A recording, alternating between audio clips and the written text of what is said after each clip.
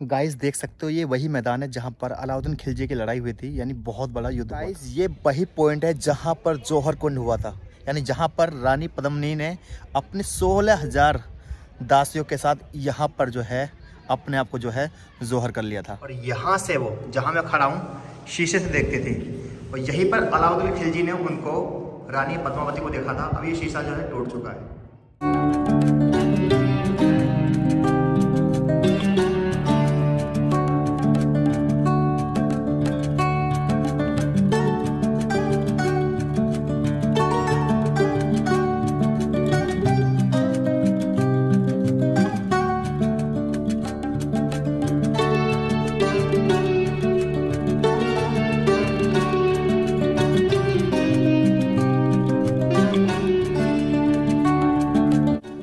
कैसे दोस्तों? एक और ब्लॉग में स्वागत है और आज हम चित्तौड़गढ़ किले में, जो कि एशिया का सबसे बड़ा किला है।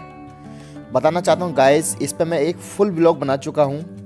इस किले के अंदर सात गेट हैं और ये 700 एकड़ में बना हुआ है और ये कभी मेवाड़ की राजधानी हुआ करता था। बताना चाहता हूँ कि इस किले के अंदर आठ पॉइंट है जो आपको अट्रैक्ट करते हैं, जो आपको घूमने चाहिए। बट मैं ऑलरेडी फुल ब्लॉग बना चुका हूँ। तो आज जो हम जा रहे हैं, वो तीन पॉइंट घूमेंगे। पहला पॉइंट रानी पद्मावती का वो जौहर पॉइंट जहाँ उन्होंने सोलह हज़ार रानियों के साथ अपने आप को जौहर कर लिया था। दूसरा जो पॉइंट है, वो जगह जहाँ अलाउद्दीन खिलजी ने रानी पद्मावती को फ़र्स्ट टाइम देखा था। और तीसरा वो पॉइंट जब अलाउद्दीन खिलजी का युद्ध हुआ था तो छः महीने वो उस मैदान में रहा था, वो मैदान में आपको दिखाने वाला हूँ।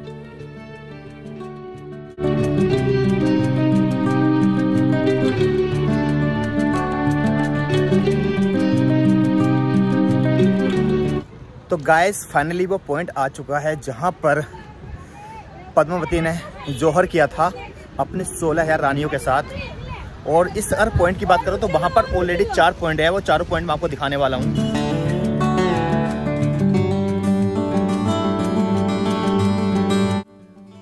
तो गाइस अगर किले के टिकट की बात करूँ तो टिकट जो है मात्र पैंतीस रुपये का है और कैमरे का कोई भी चार्ज नहीं है कैमरा वगैरह ला सकते हो।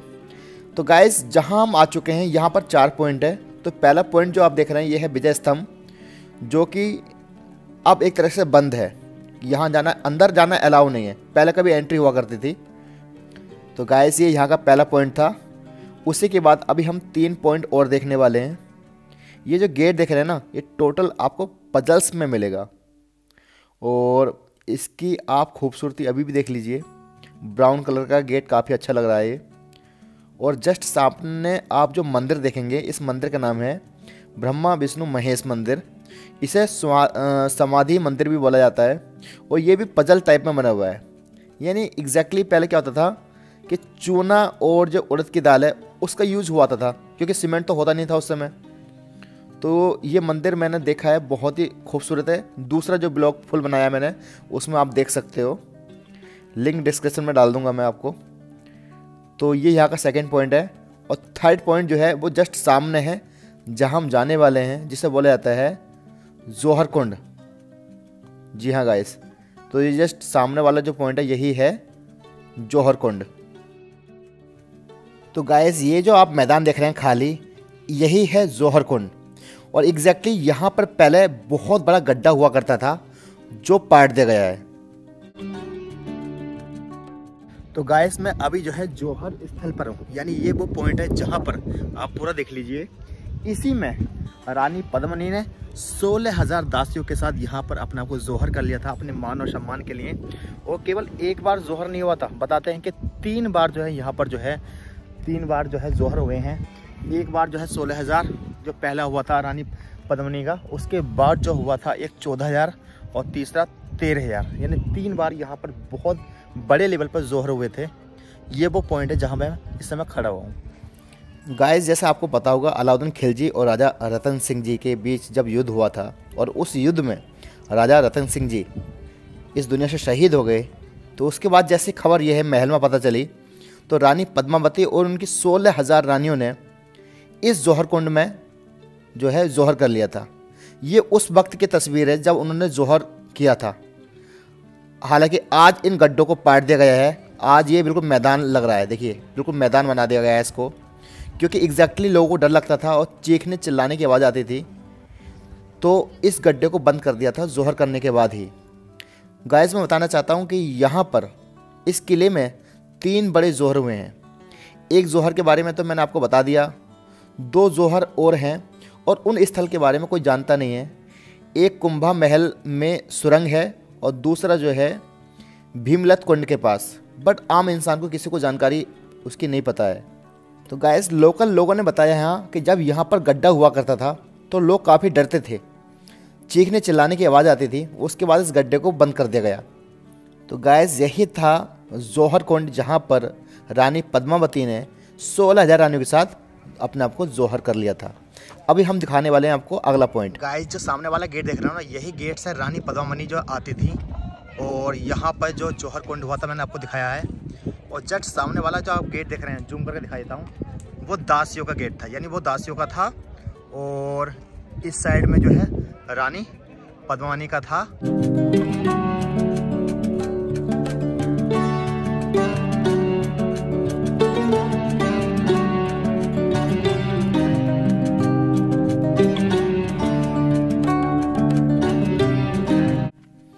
तो गाइस ये यहाँ का थर्ड पॉइंट है, जिसे बोला जाता है जलकुंड, जो मैं ऑलरेडी अपने पहले ब्लॉग में दिखा चुका हूँ। तो गाइस अभी हम जा रहे हैं रानी पद्मावती के महल, और वहाँ मैं आपको वो पॉइंट दिखाने वाला हूँ, जहाँ अलाउद्दीन खिलजी आया था, और उसने एक बार शीशे में देखा था रानी पद्मावती जी को। और आपने मूवी देखी होगी, पद्मावती जो मूवी आई थी, उसमें भी दिखाया गया था, संजय लीला भंसाली की जो मूवी आई थी। गाइस ये किला बहुत ही बड़ा है और ये एशिया का सबसे बड़ा किला बोला जाता है।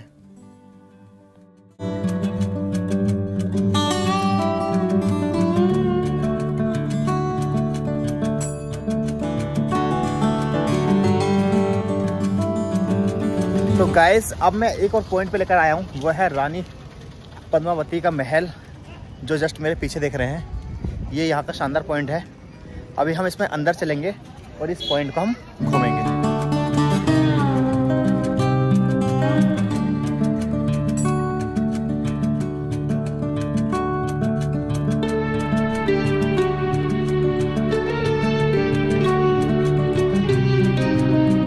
वैसे तो गाइस इसे पद्मावती का महल बोला जाता है बट एग्जैक्टली वो यहाँ पर आती थी, रहती नहीं थी। रहने के लिए जो महल है, वो पानी के बीच में है, जो मैं आपको दिखाऊँगा। और ये पूरा गार्डन बोल सकते हो, या उनके दासियों का महल बोल सकते हो। सकते हो, ये रास्ता जाता है पानी के अंदर जहाँ महल है बट ये रास्ता पूरी तरीके से बंद है। आप देख लीजिए क्लोज है। और जस्ट सामने महल है। मैं आपको बताना चाहता हूँ कि आपने जब मूवी देखी हुई पद्मावती, उसमें एक सीन दिखाया गया था, जहाँ शीशे में रानी पद्मावती को दिखाया गया था तो एग्जैक्टली वो अंदर का ही सीन था, यहाँ का। यहाँ से मैं आपको दिखाता हूँ। गाइस मैं एक चीज़ दिखाता हूँ आपको। रानी पद्मावती का असली जो महल था ना, वो पानी के अंदर था। ये देख सकते हो। ये उनका ओरिजिनल महल है, जहाँ पर वो रहती थी। और यहाँ से वो, जहाँ मैं खड़ा हूँ, शीशे से देखती थी। और यहीं पर अलाउद्दीन खिलजी ने उनको रानी पद्मावती को देखा था। अब ये शीशा जो है टूट चुका है।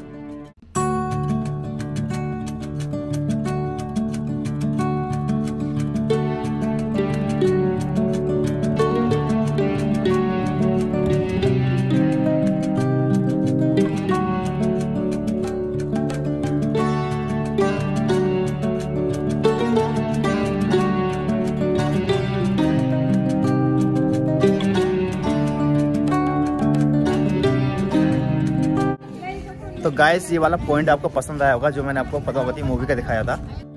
तो गाइस अब मैं आपको एक लास्ट पॉइंट और दिखाने वाला हूँ जिसे बोला जाता है, सूरज पोल गेट और उसी के जस्ट पीछे है वो मैदान, जहाँ पर अलाउद्दीन खिलजी ने अपना डेरा डाला था छः महीने।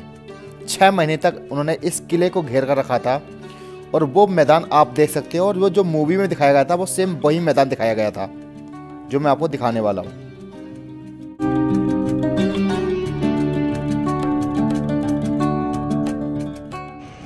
गाइस एक और अच्छा पॉइंट दिखाता हूँ। ये जो पॉइंट देख रहे हैं ना, इसे बोला जाता है सूरज पोल गेट और ये वही गेट है और इसके सामने वही मैदान है, जो कि बहुत बड़ा युद्ध हुआ था। यानी अलाउद्दीन खिलजी वाला। मैं आपको दिखाता हूँ।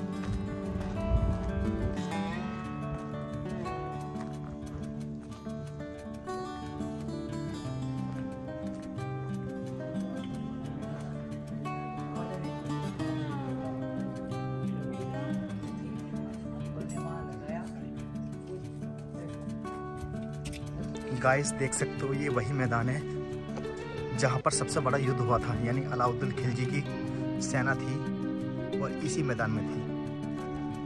ये देख लीजिए।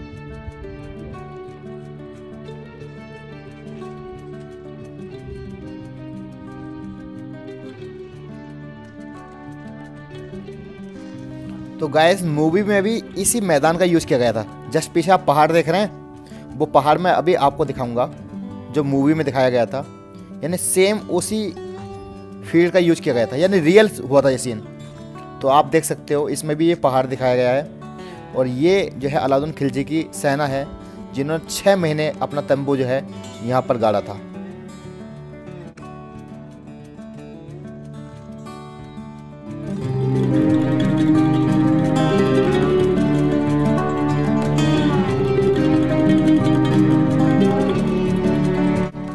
गाइस देख सकते हैं, ये इसके बैक साइड है और ये है सूरज पोल गेट और ये गेट भी इतना मज़बूत है गाइस और इसमें कील लिखी हुई है और जस्ट पीछे वो मैदान है जहाँ पर बहुत बड़ा युद्ध हुआ था और सोच सकते हो आपने खुद मूवी में देखा हुआ कितना बड़ा युद्ध हुआ था।